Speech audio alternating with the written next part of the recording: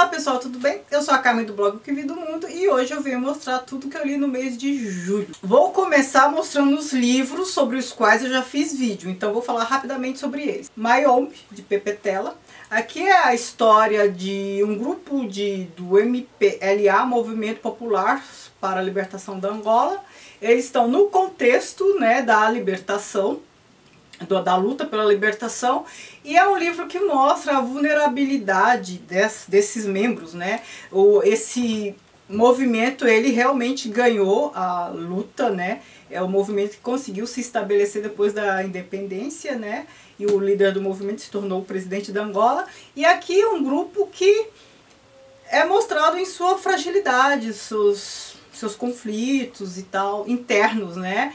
Que tira um pouco essa imagem de imbatíveis, um grupo super poderoso e tal. Eram pessoas como quaisquer outras, né, com seus conflitos emocionais. Veja um vídeo para conhecer maiores detalhes, inclusive do contexto da guerra, dou uma explicação lá histórica sobre o contexto. Quarto de Despejo, da Carolina Maria de Jesus, essa obra lindíssima que eu amei ler, aqui é o diário, né, o subtítulo, Diário de uma Favelada, Veja um vídeo sobre ele que é bem legal. Eu estou explicando aqui a obra, né? A Carolina Maria de Jesus, ela morava na favela do Canindé, catadora de papelão e sozinha criava, sustentava os três filhos. Só que ela tinha o hábito de escrever e ler. Fazia parte das atividades cotidianas dela, ler e escrever. Ela não conseguia ficar sem fazer isso. E ela todo dia escrevia diários.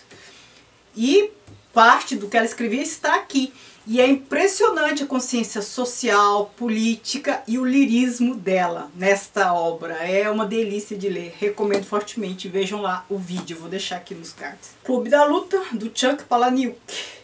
É uma obra, uau, sabe? É bem interessante. É uma narrativa super dinâmica. Uma história muito louca. Personagens loucos, enredos loucos, uh, narrativa louca, hum, excitante.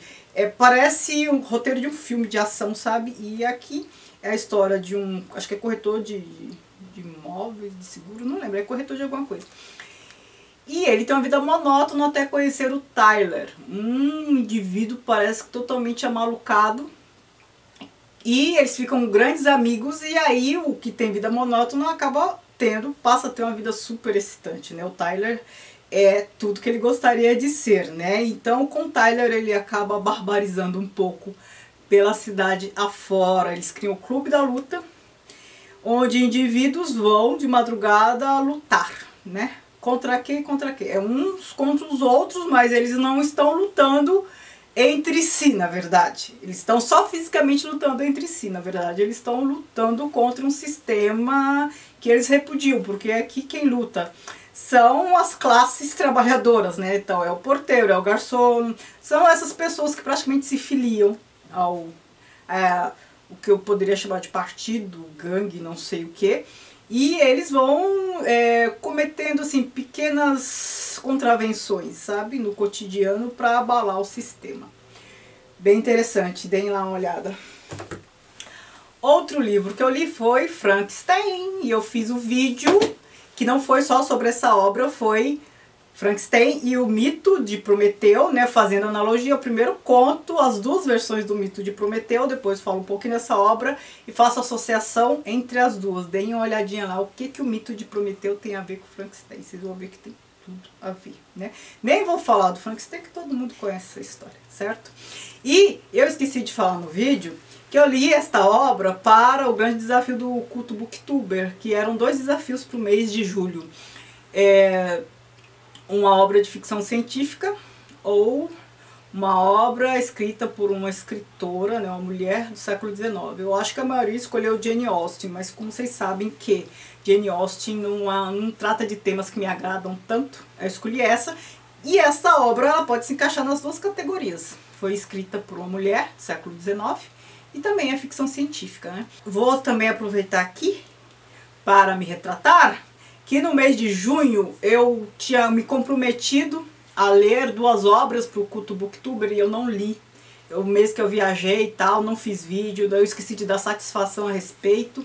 E aí eu gravei o vídeo sobre isso aqui, mas tinha tanta coisa para falar deste livro, do mito em si, que eu esqueci de fazer qualquer referência ao culto booktuber. Então, em junho eu tinha ficado de ler o Seminário dos Ratos, que eu li, terminei, comecei a ler em junho e terminei de ler neste mês, vou mostrar aqui agora. E um outro livro que era do facsímile de, de história do de São Paulo, do Brasil, enfim, do jornal O Diabo Coxo, que era a categoria de quadrinhos. Só que eu comecei a ler aquilo, e aquilo não é quadrinho, é assim, duas páginas de quadrinhos, depois duas páginas de texto facsimilado, e era uma obra muito grande. Eu, eu viajei, não consegui terminar de ler, nem em julho terminei de ler, eu deixei de lado, comecei a ler, é bem interessante, vou continuar a ler, neste ano ainda termino, mas não sei quando eu vou terminar. E ou seja, não fiz vídeo, não fiz nenhuma referência, eu fiquei totalmente atrapalhada depois que eu voltei da viagem. Então aproveito agora para falar que eu vou ler, que eu li este, né? Terminei de ler Seminário dos Ratos, não li o outro, uh, do Diabo Coxo, e li este atendendo as duas categorias. Para o mês de agosto, provavelmente eu vou, eu vou seguir apenas atendendo uma categoria que eu não dou conta. Devo ler o, a categoria do livro... É, é, livro ocorrido na Segunda Guerra Mundial, alguma coisa assim. O livro que tenha se passado na Segunda Guerra Mundial, eu devo ler A Menina que Roubava Livros, certo? E, mas aí mês que vem eu mostro. Seminário dos Ratos, da Lígia Fagundes Teles. Como eu disse, né, eu comecei a ler esse em junho pro culto Booktuber e terminei de ler agora. Esse é um livro de contos da Lígia Fagundes Teles. Eu tinha esquecido como ela escreve bem. Eu li apenas As Meninas, dessa autora, há muitos anos, não lembro mais nada da história, nem da escrita, nem nada. E aqui, esse livro de contos, eu, eu, eu não posso nem falar que relembrei, porque eu não lembrava. Mas aí eu redescobri a escrita da Lígia Fagundes Teles e gostei bastante. Como é um livro de contos, eu não vou falar de, de contos em si, mas só posso dizer que eu gostei bastante desta obra. Ele também está na relação de 100 livros essenciais da literatura brasileira e ele também foi um dos que eu escolhi para o desafio Livrada. Pronto, tá lido. Felicidade Clandestina, da Clarice Lispector. Este também é um livro de contos, cada conto fabuloso. Vou destacar o primeiro, que se chama Felicidade Clandestina, né, o título do livro, que é, aqui a gente tem um exemplo de posicionamento ético muito legal. Aqui é a história de duas meninas que elas parece que estudam juntas, sendo que uma, sei que uma tem livros em casa, muitos livros em casa. Não sei se o pai dela é dono de uma livraria, nem lembro mais. E ela tem uma edição do livro Reinações de Narizinho e promete emprestar o livro para outra.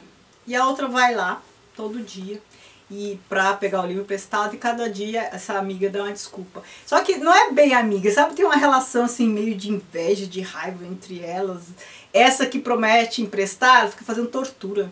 Fala que emprestou. Cada dia que a menina vai lá pegar o livro, que tá doida para ler, ela mata a unha, sabe? Dá uma desculpa. Até que a mãe delas, aí um dia que a outra tá na porta, a mãe, a mãe da dessa que tem o livro pergunta o que que tá acontecendo, né? Qual era a questão? E aí, depois de explicar, ela falou, nossa, mas esse livro nunca saiu daqui. Porque a menina tinha falado que tinha emprestado para outra. Ou seja, ficou evidente que ela estava torturando, que ela estava com maldade com a menina. E a mãe, o que que faz? Empresta, obriga a filha a emprestar o livro para outra por tempo indeterminado. Que a outra ficasse com o livro enquanto ela quisesse, para ler à vontade. Você vê? Isso que é castigo, hein? Gostei muito, mas e é muito bem escrito, é muito legal. Gostei bastante. Memórias Sentimentais de João Miramar, de Oswald de Andrade. Este livro tem uma narrativa super interessante. Ele é escrito como se fossem verbetes. Não sei se dá para ver, mas como se fossem aforismos, não são capítulos curtos. Tem numeração, então é 43 Veneza, 44 Montseny, 45 X. Ou seja, não tem uma condução de passagem, não tem frase de ligação, não tem. Aqui tem saltos históricos. Você não percebe que tem um tempo cronológico aqui, se você não prestar atenção. Porque aí cada é praticamente, eu ia falar que é praticamente um parágrafo, mas não, são vários parágrafos em cada verbete, digamos assim. Mas é, cada um é, se fecha em si mesmo parece que são isolados um do outro, mas não, tem uma continuidade, só que não tem aquelas frases, aquelas passagens no texto que dão encadeamento, que faz a gente discorrer pela narrativa, né? Fica pontual. E se a gente não prestar atenção, a gente não consegue fazer é, muitas associações, ligar um ao outro. Hamlet e Só para ter certeza que, para mim, essa é a obra favorita do Shakespeare, né? Eu acho o Hamlet imbatível. O personagem Hamlet, ele é, é considerado o precursor do homem moderno na literatura. Por que isso? Shakespeare, na verdade, ele é importante na minha concepção porque ele dialoga com várias épocas, ele dialoga com vários contextos. Eu ainda acho que vou fazer um vídeo sobre isso, porque ele se volta para a antiguidade clássica, ele está ali num contexto também medieval de lendas e ele também se volta para a modernidade. Ele também viveu num período histórico muito propício para isso, né? Um período meio de encruzilhada, em que as pessoas têm contato com essas culturas todas. Século XVI, eu acho. Uh, Shakespeare é, representa o moderno por quê? Porque ele é angustiado, né? Ser ou não ser. Ele tem a questão ética que lhe pesa muito, né? A questão da escolha, da decisão, fazer isso ou fazer aquilo. E ele sofre com a angústia de ter que decidir. Por isso que ele representa o homem moderno, porque antigamente não havia muita angústia, porque não havia muita coisa para decidir. Na antiguidade clássica já estava tudo explicado, o caos era ordenado, cada coisa tinha seu lugar, tudo mais. Depois a igreja começou a determinar, né? O homem tinha que fazer tudo que Deus mandava, segundo os desígnios de Deus, então não havia muito espaço para a dúvida. Que a gente está num período em que o homem toma conta de si. Ele tem que decidir o que fazer, né? Não tem assim uma corporação a qual entregar sua liberdade de escolha. E ele tem que decidir. E aqui a história todo mundo conhece. O pai dele morreu e ele descobre por meio do espectro do pai né, o, o, espectro do pai dele aparece para ele e fala que, na verdade, não foi acidente, ele foi assassinado. Foi assassinado pelo próprio irmão, que se casou com a mãe do Hamlet, ou seja, casou com a cunhada e se tornou rei. E aí a angústia de Hamlet é essa, o que fazer diante disso? Aí a sanha dele passa a ser desmascarar esse rei, vingar a morte do pai, e as coisas vão se desenrolando. Como é uma tragédia, vocês sabem, né? Morre cada um para um lado, e às vezes assim, um do lado do outro, um cai para um lado, outro cai para o outro, assim, no mesmo momento, né? É mais ou menos isso. Medeia. No vídeo de atualização de 100 livros essenciais da literatura mundial, eu falei bastante dessa obra. Então não vou repetir agora, senão meus vídeos ficam repetitivos. Eu fico fazendo atualização de projeto, falo, aí venho aqui na leitura do mês, falo. Mas aqui é a, a história muito famosa da mãe, a Medeia, que mata seus filhos para se vingar do marido. Jazão, que era o marido dela, a troca pela princesa Glauce, que é filha do Creon Creonte, rei de não sei lá que lugar. E ela fica enfurecida. A única maneira que ela tem de se vingar do Jazão é matando os filhos dele, que são os filhos dela. Ela pega uma faca e resolve a situação. É uma história fortíssima. E no vídeo que eu disse, eu comento esse episódio porque que ela é uma personagem interessante. Dê uma olhadinha lá. Criton, ou O Dever do Cidadão.